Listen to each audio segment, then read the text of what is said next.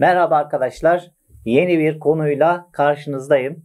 Şimdi doğrular ve açılar konusunu sizlere anlatacağım. Doğrular ve açılar arkadaşlar bu geometrinin başı olmuş oluyor. Hani ilk önceleri biz sizlere doğru, doğru parçası, ışın hatta noktadan bahsetmiştik. Şimdi onları biraz daha ileriye taşıyacağız ve daha önce öğrendiğimiz konuları da pekiştirerek burada onları biraz daha ilerleterek daha üst versiyona geçmiş olacağız. Şimdi hep beraber dersimize başlayalım.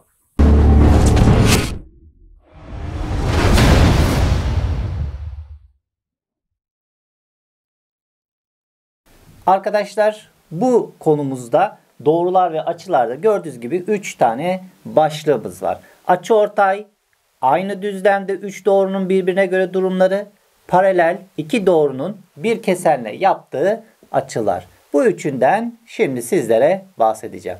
Önce şöyle yapalım. Açıdan biraz hatırlatma yapalım. Başlangıç noktaları aynı olan iki ışının birleşmesine açı denir. Aşağıdaki açıyı isimlendirelim. Şimdi arkadaşlar açıda dikkat edersek şurada gördüğünüz gibi iki tane kol dediğimiz açının kolları. Bakın şöyle bir tanesi şöyle ifade edeyim. Diğeri ise bu şekilde. Bunlar ışınlar. Yani açının kolları ışınlardan oluşmakta. Ve açı da gördüğünüz gibi L açısı olarak da isimlendirebiliyorum. Şöyle yazabiliyorum. L açısı diye. Fakat harfleri de kullanabiliyorduk hatırlarsak. Harfleri kullanırkense sıraya dikkat etmem lazım. Mesela K'den M'ye geçemiyorum arkadaşlar. Bakın bir kopukluk var.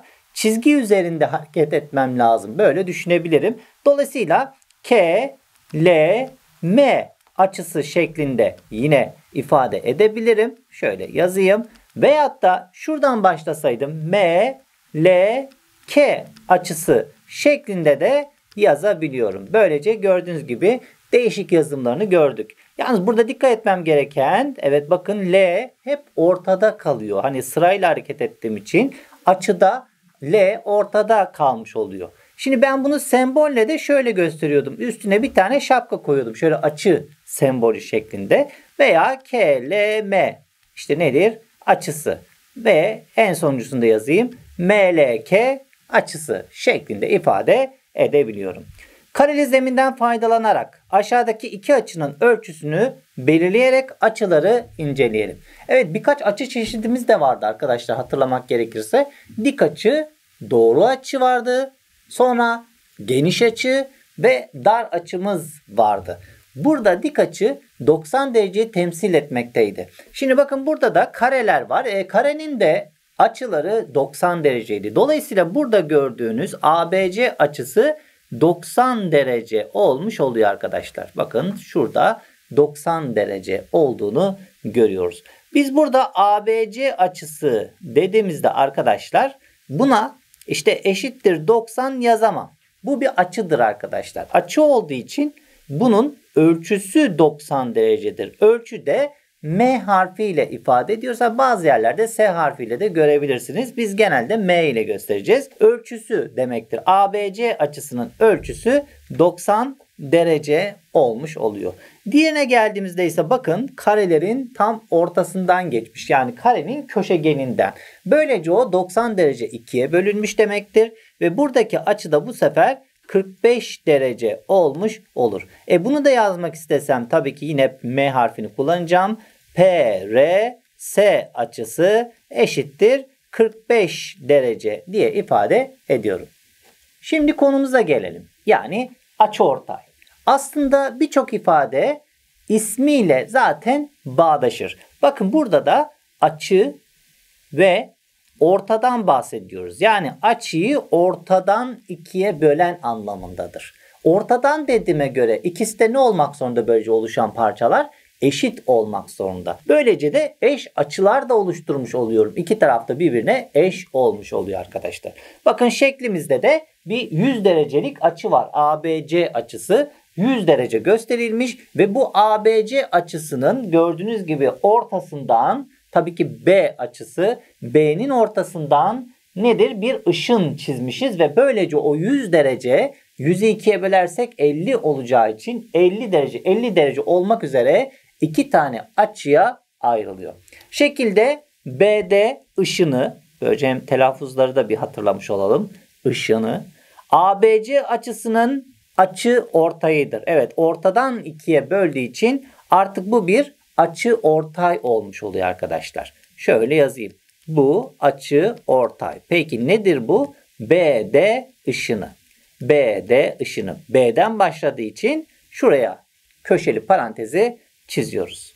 ABD ve DBC açıları ise eş açılardır. Evet ABD ve DBC açıları eş açılardır. ABD açısı eşittir DBC açısı. Bakın orada gördüğünüz gibi orada eşittir yok. Eşitliğin üzerinde bir sembol daha var değil mi? Bir dalga hareketi böyle diyoruz biz ona. İşte bu eşittir anlamına geliyor. Çünkü üçgenler eşit olamaz. Eşitlik sayısal değerler için geçerlidir. Hani bunları çok aklınızda tutmanıza gerek yok ama hani sembol nereden geliyor bilmeniz gerekiyor. ABD eşittir DBC açısı demem lazım. Ölçülerine geldiğinde ise aşağıda görüyorsunuz bu sefer ABD açısının ölçüsü yani M ile göstermişim eşittir DBC açısının ölçüsü şeklinde ifade ediyorum. Hatta bu değerde yine eşittir 50 derece diye ifade edebilirim.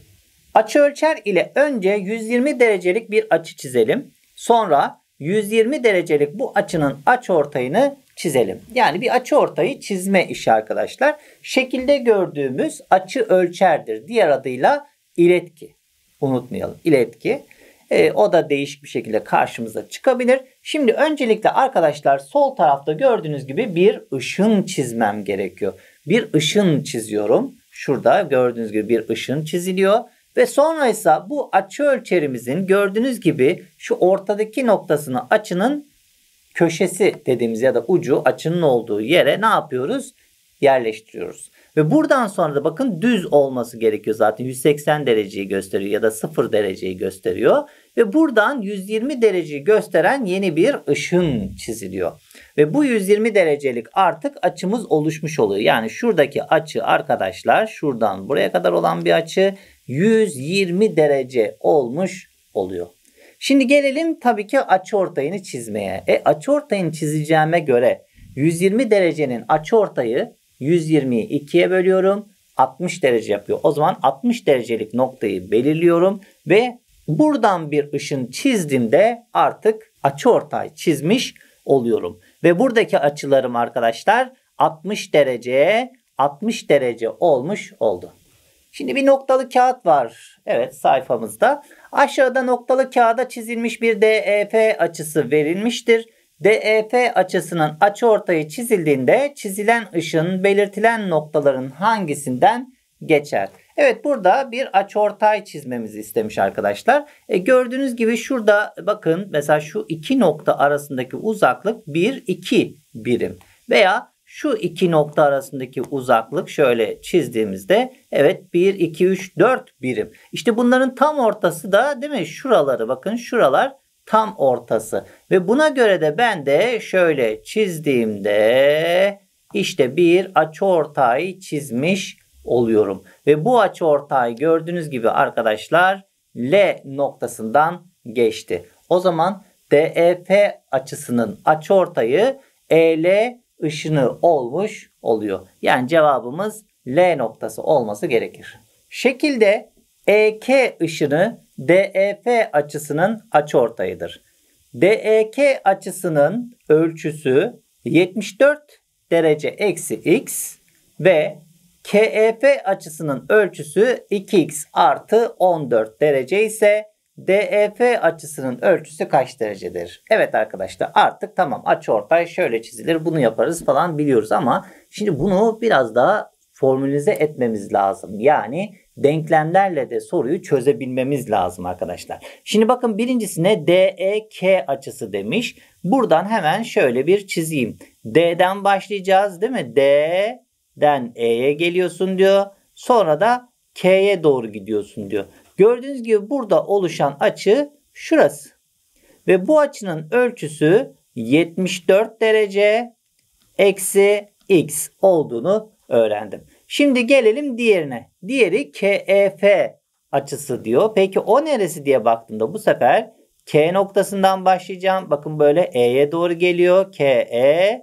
Sonra da F demiş. Yani şu şekilde gitmesi gerekiyor. O zaman burada da şuradaki açıdan bahsediyor ve o da 2x artı 14 derece diye yazmış. E arkadaşlar bu açıortay diye söylemişti. Dolayısıyla şu ikisi birbirine ne olmak zorunda? Eşit olmak zorunda. O zaman ben şöyle yazıyorum. 74 derece eksi x ile 2x artı 14 derece eş açılar değil mi? Ve bu da açıortay olduğu için dolayısıyla eşittir dedim. Sonra denklemi çözüyorum. Denklem geri bakıyorum. 2x burada, eksi x burada. Bilinmeyenleri ne yapıyorum? Bir tarafa toplamaya çalışıyorum. O zaman eksi x'i bu tarafa atayım, sağ tarafa atayım. 74 e, derece buradaydı zaten. E 14 dereceyi de eşitliğin öbür tarafına atacağım. O zaman o da işaret değiştirdi. Burada 60 derece çıkmış oldu. Burada da 3x yaptı. E ne yapıyordum? Hemen bilinmeyenin yanındakine bölüyordum. 3'ler gidiyor böylece ve burada x kalmış oluyor. 60'ı da 3'e böldüğümde 20 derece diye buluyorum. Böylece x'in değerini bulduk.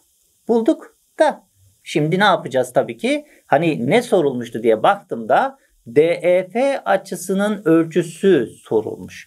DEF dediğimiz şeydi bakın tamamı yani boydan boya şu açının tamamını bulmam gerekiyor. O zaman bir tanesini de isterseniz yerine yazarız. 74 eksi x'ti. Şuraya yazayım isterseniz. 74 derece eksi x.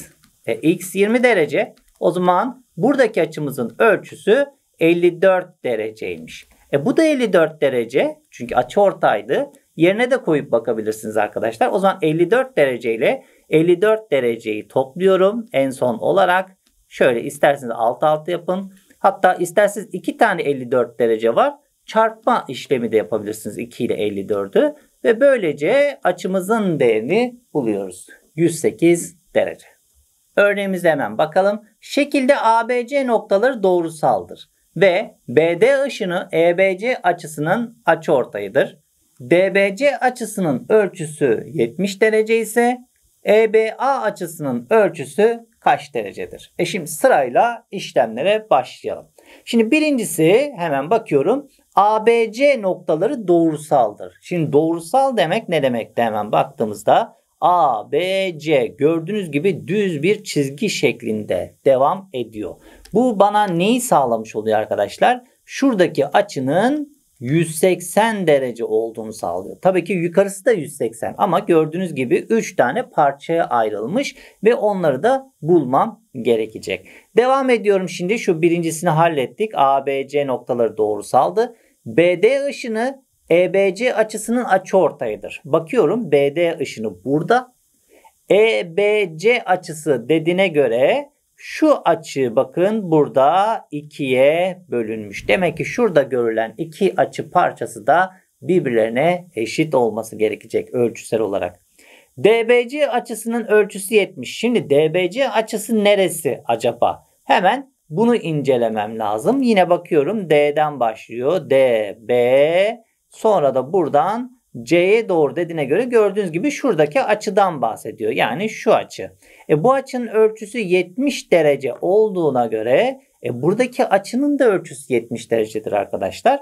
Ve sadece şuradaki açı kalmış oldu şu anda. Ne olduğunu bilmiyorum. Hatta bana o EBA açısının ölçüsünü sormuş. Evet bakalım o zaman biz de buraya x diyelim. E, burada görülen x 70 derece ve 70 derecenin toplamı. Nerede görülen? Bakın üst kısımda kalan 3 tane açı. E bunların toplamı 180 derece olacaktı.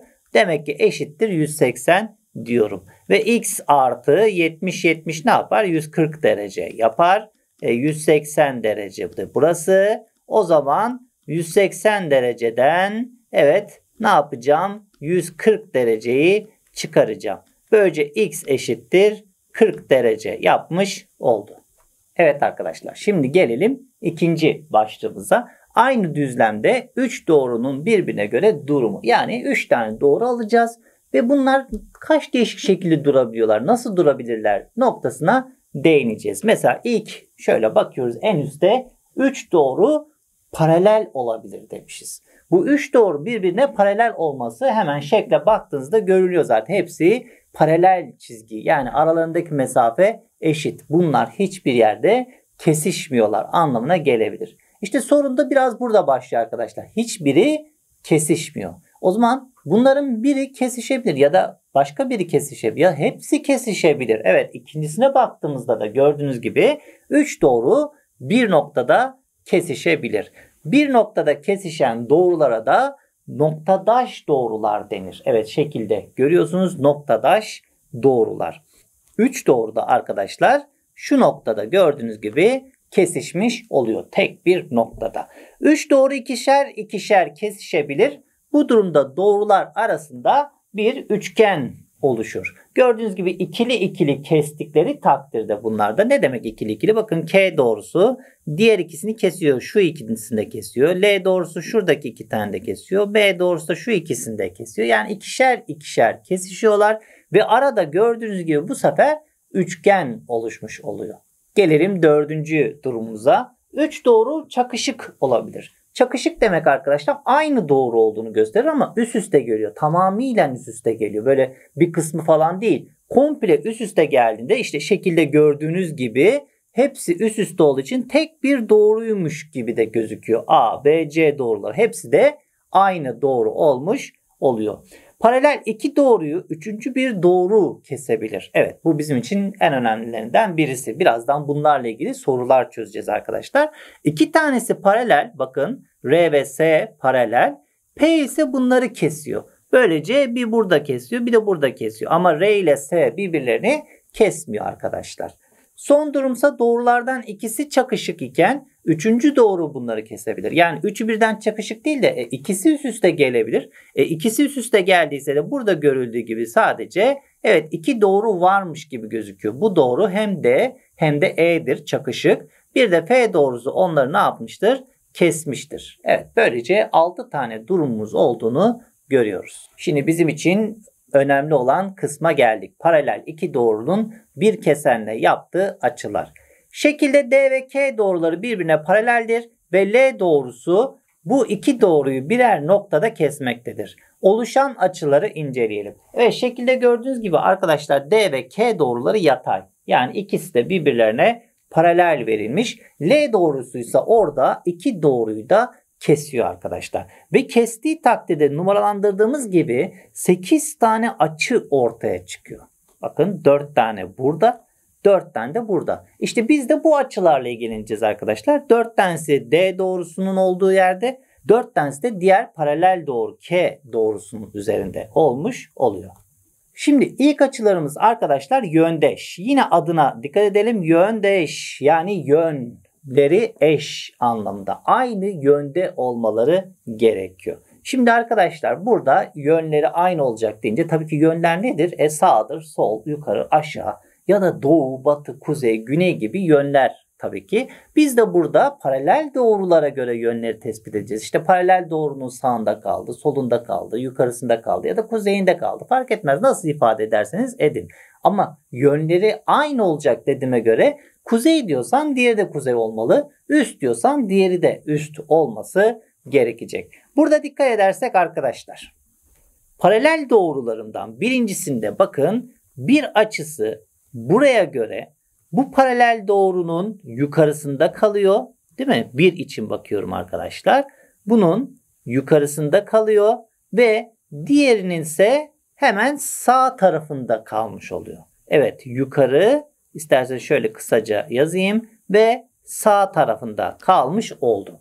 Şimdi buradaysa arkadaşlar diğer paralel kısımdaysa evet bakıyorum bu doğrunun yukarısında ve bu doğrunun da sağında kalan evet 5 numaralı açıdır. Bakın ikisi de aynı yönde. İki şekle de bakarsanız şimdi yukarıdakine baktığımızda evet bir numara yukarı sağdı. 5 numarada onunla aynı yönde olduğu için işte bu açılar yöndeş açılardır arkadaşlar. Ve yöndeş açılar olduğu için de bu açıların ölçüleri birbirine eşittir. Evet bunu unutmayın. Zaten şekle baktığımızda da şöyle dikkat ederseniz orada nedir? Biri biraz daha dar, diğer ise daha geniş iki açı olduğu görülüyor. E dar olanlar birbirlerine eşit olacaklar. E geniş olanlar da birbirlerine eşit olacaklar. Ama hangileri veya neden olduğu bizlere sorulacak. İşte bunlar yöndeş. 1 ve 5. E başka? 4 ile 8'e bakın. Yukarıda 4 gördüğünüz gibi aşağıda ama sağda kalıyor. E, öbür paralelde ise aşağıdakinde baktığınızda ise 8 numara aşağıda ve sağda kalıyor. Dolayısıyla 4 ve 8 yine yöndeş açılar. Aynı durumda 2 ve 6, 3 ve 7 de yöndeş açılar olacaktır. Şimdi gelelim iç ters açılara. Şimdi paralel iki doğrunun bir kesenle yaptığı açılardan paralel doğrular arasında kalan açılara iç açılar denir. Ters yönlü olan iç açılara iç ters açılar denir. İç ters açıların ölçüleri de birbirine eşittir. Şimdi arkadaşlar ilk bakmamız gereken evet iç açılar dedik değil mi? Burada dikkat etmem gereken bakın şurada paralel doğrular var. İşte bu paralel doğruların biz arasında kalan kısma iç diyeceğiz. Ve bunun dışındakilere de işte şurada var, e burada da var dikkat ederseniz bunlara da dış diyeceğiz. İşte burada oluşan açılara 3, 4, 5, 6'yı görüyorsunuz. Bunlar iç açılar olmuş oluyor. Diğerleri ise diğer şekilden hatırlayabilirseniz tabii ki ne? 1, 2, 7, 8 ise ne olmuş olacak? Birazdan göreceğiz. Dış açılar olmuş olacak. Şimdi açılara dikkatlice baktığınızda arkadaşlar orada 3 numaralı açı 6 ile değil de 5 ile eşit olabilir değil mi zaten? Hani gözde de fark edilebiliyor bizim çizdiğimiz şekle göre. Bakın burada 3 numaralı açı dikkat ederseniz ne tarafa doğru bakıyor? Sol tarafa bakıyor. 5 numaralı açı ise sağ tarafa bakıyor. İşte o yüzden de iç açılarda bunlara iç ters değil mi? Yönleri aynı değil çünkü yöndeş derdik yoksa tüm yönler aynı olsa ama burada ters tarafta kalıyorlar. Dolayısıyla iç ters açılar adını vereceğiz. 3 ile 5. Aynı durum tabii ki 4 ve 6 için de geçerli. Dolayısıyla 4 ile de 6 iç ters açılar olmuş oluyor. Sırada dış ters açılar var. Evet biraz önce aslında bununla ilgili ipuçlarını verdim. Paralel iki doğrunun bir kesenle yaptığı açılardan paralel doğrular arasında olmayan açılara dış açılar denir. Ters yönlü olan dış açılara da dış ters açılar denir ve tabii ki dış ters açılarda ölçüleri daha doğrusu birbirlerine eşittir arkadaşlar. Şimdi gördüğünüz gibi burada ben şu kısma iç demiştim. Dolayısıyla bunun dışında kalanlara ne diyeceğiz? Dış açılar diyeceğiz. İşte 1, 2, 7, 8 dış açılar olmuş oluyor. Ve yine dikkat ederseniz burada bir numara 7 ile eşit durumda ve 1 sağa bakarken 7 sol tarafa baktığı için ters kalmış oluyor ve böylece 1 ile 7'ye dış ters açılar diyeceğiz. E tabii ki 2 ile 8 de burada dış ters açıdır ve ölçüleri birbirlerine eşittir. Şimdi soru çözelim biraz da. Aşağıdaki şekilde M, N paralel B, P doğrusu kesendir. Verilen açı ölçüsüne göre şekildeki diğer açıların ölçülerini yazalım. Evet arkadaşlar bakın B ve N burada paralel olduğunu söyledik. O zaman buradaki açı ölçülerinde bakın birincisi bir kere şurada 105 derece verilmiş. Bu 105 derecenin hemen yanını da bulabilirim arkadaşlar. Hemen yanı dediğim şey hani hatırlarsanız 180 derece olmalıydı. E 180 dereceden burada ne yapacağım? 105 dereceyi çıkaracağım. Ve böylece 75 derece yapıyor. Böylece artık şeklimdeki iki açı ölçüsünü de bulmuş oldum arkadaşlar. Şimdi isterseniz hem pekişmiş olsun yöndeş, iç ters ve dış ters açılarla soruyu tamamlamaya çalışayım. Şimdi 75 derece arkadaşlar bakın burada paralel doğrunun üst kısmında ve şu P doğrusununsa P doğrusununsa sol kısmında yer alıyor. Aynı durum şuradaki açı için de geçerli. Bakın M doğrusunun üstünde ve P doğrusununsa solunda kalıyor. İşte bu açılara yöndeş açılar diyorduk. Yani buradaki açı da yine 75 derece olması gerekiyor. Sonra 75 derece bakın burada ne, nedir? İç kısımda kalıyordu. Şöyle ifade edeyim. İsterseniz hangi 75 derseniz şuradaki 75 bakın iç kısımda kalıyordu. E bunun tersi şu tarafta iç kısımda kalan açı iç ters açılardan dolayı yine 75 derece olması gerekecek. Bunun dışında 75 dereceyi burada en son yazmıştık. Onu da şöyle ifade edeyim. Şimdi şuradayım bakın. Bu 75 dereceye de bakın dış tarafta kaldı. O zaman onun ters tarafında şurada kalan bu da dışarıda ve ters tarafında bakın. Bu da dış ters açıdan dolayı yine 75 derece olması gerekiyor. Böylece dar açıları bulduk. Bakın 75, 75, 75 ve 75 derece. Şimdi diğerlerini de yazmak istersem arkadaşlar hemen şöyle yazalım. O zaman buradaki açı yine 105 derece bulunacak. Buradaki açı da 105 derece bulunacak. Sonra bir de buradaki açı da yine 105 derece olarak bulunmuş olacak. Böylece gördüğünüz gibi şekilde 8 tane açı var ama iki değişik açı ölçüsü var. 105 derece ve 75 derece. Şimdiki örneğimizde aşağıdaki şekilde AB CD ışınına paraleldir ve CBE açısının ölçüsü 124 derecedir. Buna göre x ve y'nin değerlerini bulalım demiş. Şimdi bakalım arkadaşlar. Bakın neydi paralel olan? AB. AB burada gördüğünüz gibi bir doğru. Yalnız CD ise bir ışın. O zaman öncelikle arkadaşlar şu paralelleri eksikse tamamlayalım. Mesela bunu da şöyle tamamlamış olalım. Nereye kadar çizdiğimiz önemli değil. Şimdi buna göre e, soruyu yönlendireceğim. Bakın ne çıktı? İki paralel doğrunun iç kısmındaki açılar verilmiş şekilde. İç kısmındaki açılar. E buradan 124 derece verildiğine göre sol taraf hemen onun tersi zaten y. Ters tarafındaki olduğuna göre 124 e burası da 124 olması lazım. Çünkü bunlar iç ters açılar arkadaşlar. X'e gelince burada bakın dikkat edelim. 124'ü 180'e tamamlayan açı olacağı için 180 dereceden 124 dereceyi çıkaracağım arkadaşlar. Ve bu çıkarma işlemi sonucunda da 56 derece buluyorum. Böylece x'in de değerini bulduk. Bizden de istediği x ve y'nin değerleriydi. Burada dikkat etmeniz gereken bir şey var arkadaşlar bakın. 124 ve 56 bakın karşılıklı bakıyorlar. Bu karşılıklı bakan açıların da birbirlerini 180'e tamamladığını görüyorum. Hatta bunun da bir özelliği vardı hatırlarsanız. İki açının toplamı 180 derece ise bu açılar birbirlerinin bütünleri oluyorlardı. Şekilde BA ışını DE ışınına paralel ise verilenlere göre A'nın değerini bulalım. Şimdi bakıyorum BA ışını dedin. O zaman yine BA ışınını arkadaşlar şuradan tamamlıyorum. Tahmin olarak şuraya kadar çizelim. Sonra DE ışını paralel demiştin. Onu da o zaman şöyle çizmeye çalışıyorum. Tamamladım elimden geldiğince ve artık paralel doğruları bulduk. Bakın burada 130 derece bu paralel doğruların içinde kaldı. İçinde kaldı ve sol tarafta. O zaman hemen onun sağ tarafı aşağıda yine 130 derece olması gerekiyor. Şimdi bakın burada ne oluştu arkadaşlar? Bir üçgen oluştu. Üçgende de 3 tane iç açısının ölçüleri toplamı 180 dereceydi. Bunu da bu tarz sorularda kullanabilirim. Bakın 130 derece olduğuna göre şuradaki açı 50 derece artık yazmayayım. 130 ile 50 dereceyi topladığımızda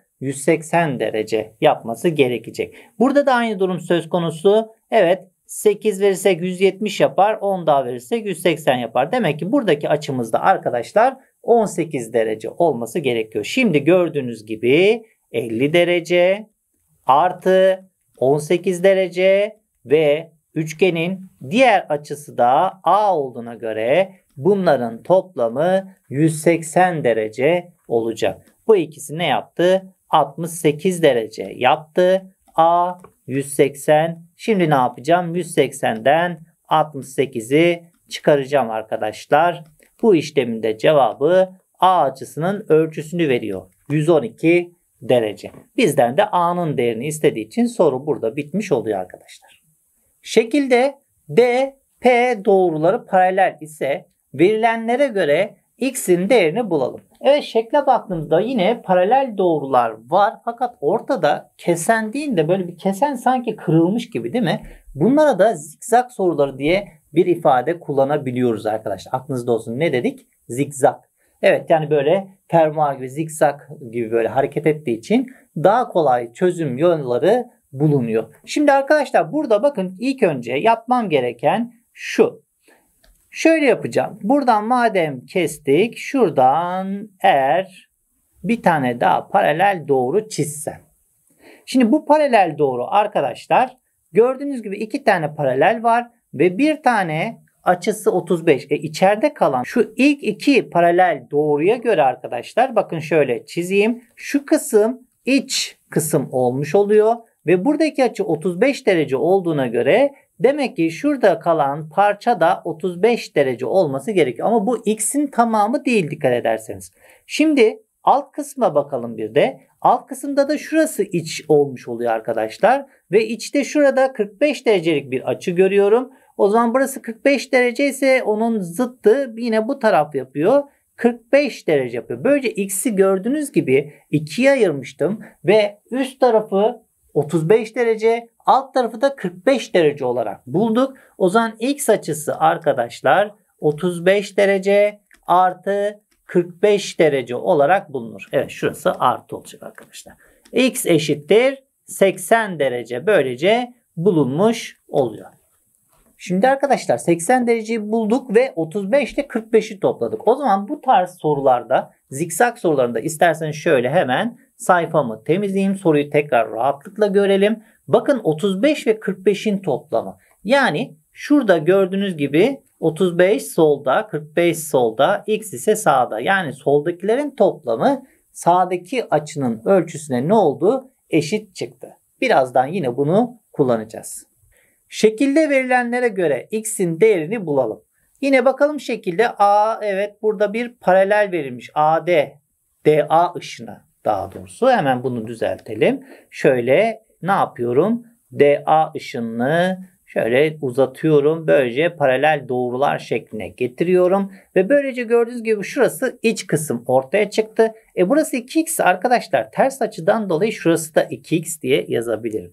5x ise Buradaki açı da ters açıdan dolayı 5x diye yazabilirim. Ve şimdi gördüğünüz gibi şu arada oluşan durum biraz önce oluşan şeklin aynısı oldu. Bakın bu sol tarafta, bu da sol tarafta. 77 derece ise sağ tarafta sol, sağ, sol ve sırayla hareket ediyor dikkat ederseniz. O zaman içeride kalanlar bakın bunlar değil. Dikkat edelim. İçeride kalanlar için söz konusu bu durum. 2x ve 5x'in toplamı soldakilerin toplamı sağdakine ne olmak zorunda? Eşit olmak zorunda. 7x eşittir 77 derece yapar. O zaman x eşittir buradan 11 derece yaptı. Bize de x'in değeri sorulduğu için cevabımız 11 derece. Şekilde verilenlere göre a ve b'nin değerini bulalım. Yine bakıyorum burada AB ışını ve bir EF doğrusu görüyorum. Hemen ışınımı yine şöyle tamamlıyorum. Evet tamamladık. Ve şimdi de bakıyoruz. Evet arada gördüğünüz gibi bu paralellerin arasında 1.85 derece var. Ve sağ tarafta olduğu için şuradaki 85 derece olmalı diyorum. Bakın B'yi ikiye böldüğüm için dikkat edin. B 85 değil. Şurayı da bulmam gerekiyor ama zaten şu yukarısı gördüğünüz gibi 180 derece. O zaman 180 dereceden 180 dereceden 115 dereceyi çıkarırsam 65 derece yapıyor. O da şuradaki açı olmuş oluyor. Böylece tamamı 180 yapmış oldu şu iki açı. E B dediğimiz açıysa arkadaşlar böylece hem 65 dereceyi hem de 85 dereceyi içine aldığı için toplam 150 derece olarak buluyorum. Böylece B'nin değerini buldum. Şimdi gelelim A'nın değerine. A'nın değeri de arkadaşlar o daha basit. Gördüğünüz gibi ters açı. Evet ters açı olduğu için A'nın değeri direkt olarak 85 derece yazabiliyorum. Şekilde BA ışını, CD ışını, EF ışını paraleldir. Verilenlere göre ECD açısının ölçüsü kaç derecedir? Şimdi arkadaşlar burada da gördüğünüz gibi 3 tane ışığın birbirine paralel. Şimdi burada 70 derece AB ışığının verilen kısmı. Şöyle isterseniz uzatalım. Şimdi hangisini alalım dediğimizde değişik şeyler yapabiliriz. Burada da EF'yi alıyorum şimdi. Bir de şurada evet kesen doğruyu şöyle belirtmeye çalışayım. Net seçebilelim diye.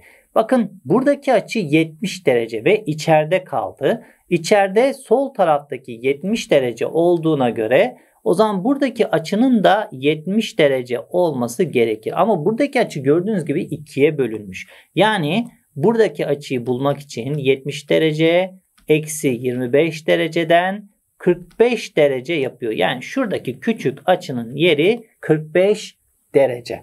Evet şimdi gelelim C'yi nasıl bulacağız diye. Burada da arkadaşlar bu sefer şöyle yapayım sizlere ifade etmek için. Şu ışını görüyoruz. Şöyle uzattım. Yine burada gördüğünüz gibi iki paralel doğru oluştu. Ve bu iki paralel doğruda da gördüğünüz gibi bir kesen var. Ve buradaki açı 45 derece. Şöyle yapalım yine. Şu şekilde. Evet. Buradan geldik. Şöyle ve şu şekilde de ayırdık. Bakın aşağıda kalan kısmı şurada arkadaşlar. 45 derece. 45 derece. O zaman buradaki açı da yine 45 derece olması gerekiyor. E soru işaretli açı da bunu 180'e tamamlaması gerektiği için 180 eksi 45 dereceden 135 derece olarak bulunur. Şimdi arkadaşlar bazı kitaplarda da görebilirsiniz bazı özellikler var. Bakın burada birincisi şu. Paralel doğrular arasında bir kesen var ve bu kesenlerden de sol taraftaki ile sağ taraftaki açı birbirlerine eşit. İşte gördüğünüz gibi sanki bu bir Z harfine benziyor değil mi? Dolayısıyla Z'yi gördüğümüz zaman Z'nin o iki açısının ölçüsü birbirlerine eşit olacak. Tabii ki bu Z harfi arkadaşlar tersten de gelebilir.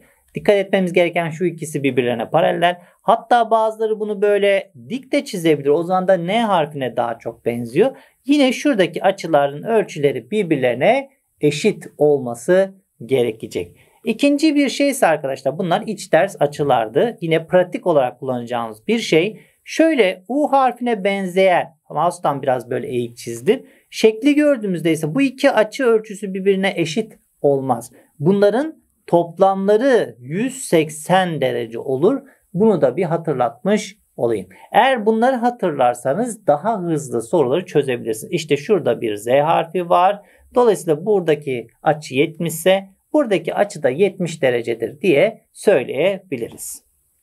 Evet son bir örnek daha çözelim. Aşağıdaki şekilde AB ışını CD ışını paralel ise verilenlere göre x kaç derecedir? Evet bu sefer iki paralel doğru arası fazlaca abartılmış değil mi? İşte dediğimiz olaya geldik. Fermuar ya da zigzag olayına böyle çizgi çizgi belirtilmiş. Bu soruların da pratik yolu tekrar söylüyorum arkadaşlar bakın 30 derece sağ tarafta kalıyor.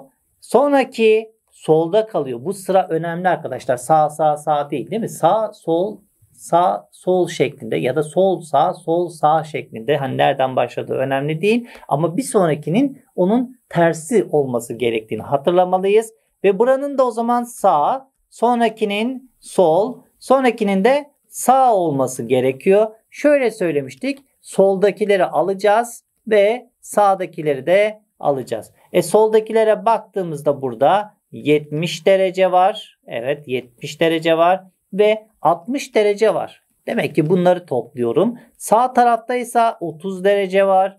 X var.